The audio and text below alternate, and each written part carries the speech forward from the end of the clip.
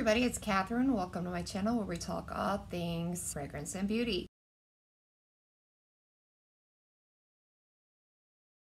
Today we are doing a perfume review on a perfume that I recently received from Influenster as a Vox box. I was sent the perfume in exchange for my honest review. The perfume that we're talking about is Marc Jacobs Daisy Skies, a limited edition eau de toilette. I'll show you the bottle. It's really super cute uh, blue glass bottle with these flowers at the top. I thought the flowers were going to be glass, but they're actually like a like a jelly sandal material. If you guys ever wore jellies when you were little, super cute bottle. The bottom part is glass, and it's that got that light Tiffany blue reminiscent of the skies.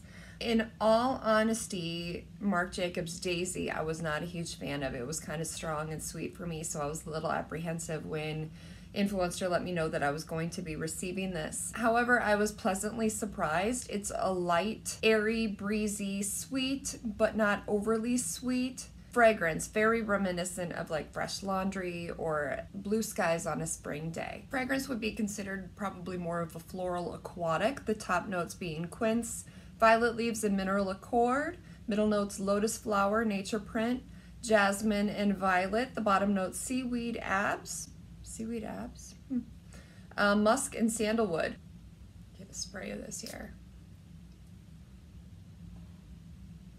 I've had a few other scents with lotus flower in them and always has have enjoyed that note in a fragrance. It starts off the mineral, the a bit of the quince. I feel you smell more of the mineral mixed with maybe a trace amount of the jasmine and the violet, a bit of like a salty sweet undertone, which I find makes it a bit more unique uh, as opposed to a straight candy sweet scent. Being that it is an eau de toilette, I, I read in other reviews that people smelled the musk and the sandalwood as time wore on.